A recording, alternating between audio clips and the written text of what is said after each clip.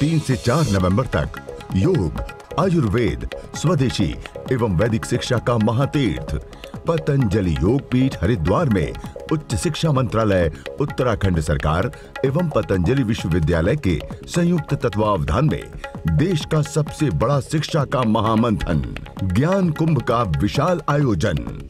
आधुनिक शिक्षा के साथ में प्राचीन गुरुकुलीय पद्धति को आगे बढ़ाने का पतंजलि का प्रयास। ये देश का पहला ज्ञान महाकुंभ है, जिसमें माननीय महामहिम राष्ट्रपति जी एवं माननीय गृह मंत्री राजनाथ सिंह जी, उत्तराखंड के मुख्यमंत्री जी, महामहिम राज्यपाल जी सहित इस देश के अनेक शिक्षा मंत्री आदि का यहाँ पर आगमन होगा।